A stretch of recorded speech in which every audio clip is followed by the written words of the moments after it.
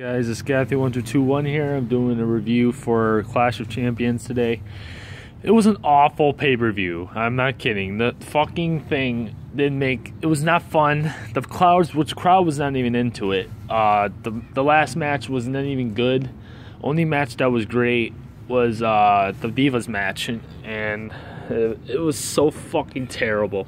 I mean, how in the hell are you gonna not make a pay per view for the first pay per view of Raw, make it bad because the fucking first pay per view of SmackDown was amazing.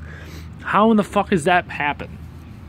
I think that Raw doesn't know how to make their pay per views good because they have a, they have the great talent, but they don't know how to fucking use them.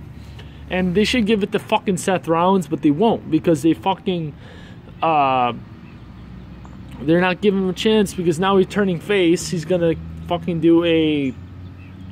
Uh, uh, rivalry with Triple H.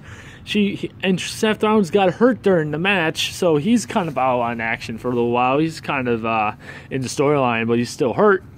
So I don't even know why I even bothered trying to watch it. The only reason why I watched it because I knew it was gonna be bad.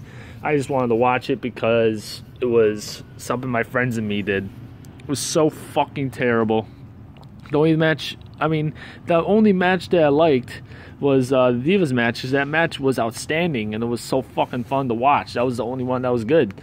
The pre-show, I didn't even watch it, and I don't even know.